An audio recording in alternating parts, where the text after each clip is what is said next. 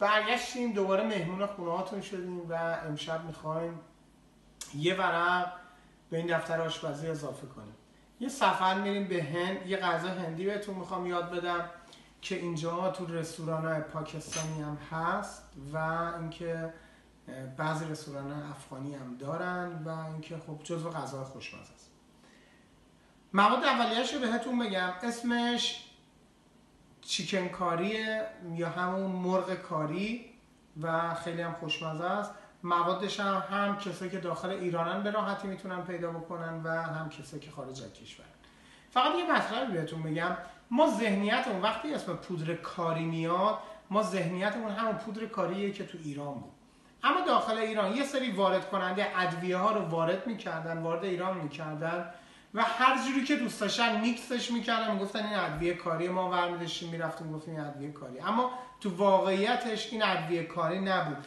ادویه کاری که اصل و اصیل باشه مواد اولیه داخلش مشخص شده است و معلومه. من وقتی که خارج از ایران اومدم و از فروشگاه هندی یا پاکستانی اومدم ادویه های اورجینالشون رو تهیه کردم نظرم نسبت به کاری خیلی عوض شد.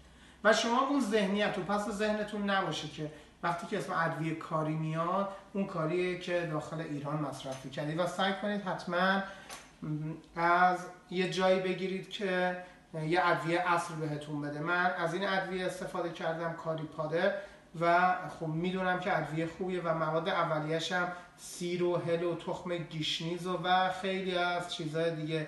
جینجر خشک شده و, و چند مدل فلفل. خب بریم سراغ مواد اولیه‌مون. ماست نیاز داریم. منم ماست گریک استایل استفاده کردم. پاپریکا پادر پایه اصلی این غذا. فراموش نکنید حتما پاپریکا پادر رو تهیه بکنید. نمونه های ایرانیش هست ساده است و نمونه استرالیاییش هم هستش که تو فروشگاه اینجا میفروشن که اسموک شدهشه. اسموک شدهش خیلی خوشمزه تره نمک. سبزیجاتی هم که می‌خواید کنارش بذارید بستگی به خودتون داره. من بروکلی استفاده کردم هویج استفاده کردم و سیب زمینی. بعدم حتما برای این غذا سعی کنید از رون مرغ استفاده کنید به خاطر بافته چربی که داخلش داره. خیلی خوشمزه ترش می‌کنه. یه تیکه زنجبیل کوچیک دارم و چهار حبه سیر دارم و اینکه خب تخم گیشنیز روغن زیتون. بریم سراغ مواد اولیه‌مون.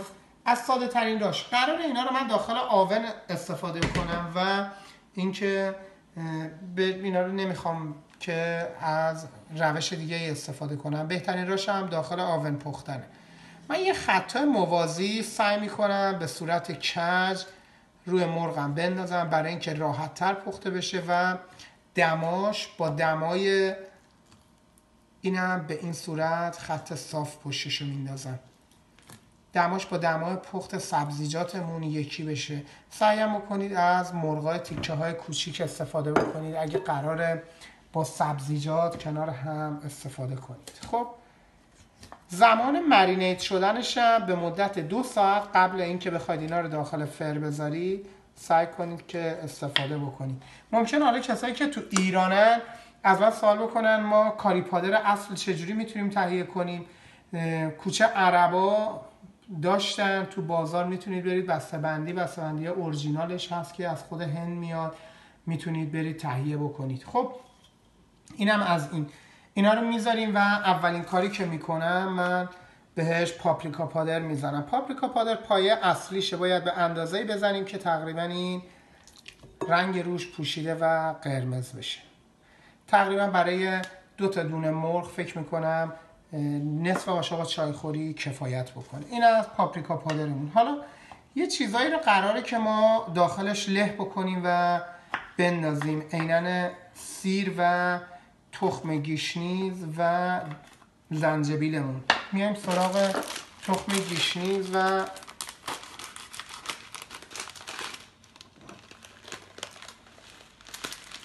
این طعم و تستش خیلی قالبه زیاد استفاده نکنید. چند تا دونه تخم گیشنیز می‌خوایم.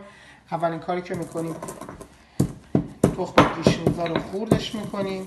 فلفلم دیگه به هیچ عنوان نمی‌خواد بهش اضافه بکنید. هندی ها پاکستانی ها اضافه می‌کنن ولی کاری پادر اگه کاری پادر خوب باشه اینا رو داخل خودش داره و نیازی نداره. سیرمون رو له می‌کنیم و همینطور زنجبیلمون. حالا من اینا رو لهش می‌کنم و کاملا کلش رو فیلم می‌گیرم و بهتون نشون خب این کاملا کوبیدم و برای اینکه راحتتر کوبیده شه یه مقدارم بهش روغن زیتون اضافه کردم. اینم مخلوط تخم گیشنیز و سیر و روغن زیتون که واقعا خوش عطر و خوشبو حتما درست بکنید از عطرش لذت می‌برید. یه مقداری روغن زیتون بهش اضافه می‌کنم و مهمترین نکته پودر کاریشه که بدونید چه اندازه اضافه کنید من این پودر کاری رو استفاده کردم و قبلا اندازش رو می‌دونم که چقدر باید اضافه کنید این دقیقا به اندازه نصف قاشق چایخوری من بهش پودر کاری اضافه می‌کنم چون واقعا پودر کاری خوبی بیشتر اگه اضافه کنم خیلی تون میشه. حالا اگرم شما دوست داشتید که جعبش رو دیدید می‌تونید از برندش بگیرید و استفاده بکنید. نمک هم به اندازه مواد اولیه‌مون و مهمتر از همه ماسته. اینجا ماست هم بهش اضافه می‌کنیم. من به اندازه سه تا قاشق بهش ماست اضافه کردم. خب حالا این مواد که زدیم ما یه مقدار دیگه من اینجا رو مرتب کنم. میایم سراغ سیب زمینیمون پوستش هم نیازی نیستش که داخل آون می‌خوایم بپزیم. پوستش هم نیازی نیست. به شکل هشتی برشش میدیم و اینا رو اضافه میکنیمش. حالت زخامت سبزیجاتتون رو باید به اندازه زخامتش رو بگیرید که بدونید که همزمان با مرغتون میپزه. حالا من اینا رو همه رو با هم دیگه مخلوط می‌کنم و سبزیجات هم, بهش اضافه می‌کنم و دوباره فیلم می‌گیرم بهتون. نشون برای اینکه من باید با دست هم می‌زدم فیلم رو قطعش کردم اصلا قشنگ نیستش و اینکه کاملا اینا رو هم زدم به صورتی که این سس تو تمام این برشا نفوذ کرده. حالا کاری که می‌کنم از ظرف مخصوص فرم استفاده می‌کنم و اینا رو آماده می‌کنم که برن داخل فر. فرم هم رو 180 درجه سانتیگراد گذاشتم. فقط یه مطلب. توی مراحل اولیه اگه شک داشتید به اینکه خب چند مدل مواد رو با هم دیگه مخلوط کردید و شک داشتید که داخل فر خوب میشه یا نمیشه تنها کاری که می‌تونید بکنید اینه که می‌تونید یه آلمینیوم اول روش بکشید کاملا و مطمئن بشید از اینکه حرارت مستقیم نمی‌بینه. تو گرما پخته میشه تو مرحله بعد ور میدارید یه حرارت می‌خوره و خیلی راحت برشته میشه و مواد داخلتون همزمان با هم دیگه پخته میشه. خب این غذا خیلی راحته خیلی ساده است بدون چربیه و جزو غذاهای سالم هم محسوب میشه. خب فقط مراقب باشید کسایی که به ادویجات آلرژی دارن از این غذا استفاده نکنن. حالا در انتها نه روی ببینید سس هم, کاملا اندازه شد براش. فقط در انتها کمی روغن زیتون سعی می‌کنیم فقط رو تاپ اینا بریزیم که این هم باز خود مرغام کمی روغن حرارت ببینه ازش آزاد میشه. خب میذارمش داخل فر زمانش هم می‌گیرم دقیقا و بهتون میگم که چقدر خب غذا من آماده شد و اینکه یه مقدار بروکلیاش رو زودتر در آوردم و گذاشتم سیب زمینی و مرغش کاملا پخت خیلی خوشمزه خوش عطر و با کمی ما سروش می‌کنم امیدوارم که این غذا رو درست بکنید. جزو غذاهایی که آسون درست میشه. وقتی که خسته از سر کار میای خیلی راحت می‌تونید درستش بکنید و یه طعم متفاوت داره. اما یه سری گله کرده بودن که خب ادویه هایی که میگی نیستش و پیدا شدنی نیستش. اما به نظر من توی هر خونه نیاز داریم که برای اینکه غذاهای متفاوتی درست بکنیم برای اینکه هنر آشپزی رو یاد بگیریم نیاز داریم که ادویه هامون کامل باشه. من در کابینت رو واکنم فول تا فول پر ادویه و سس مختلفه.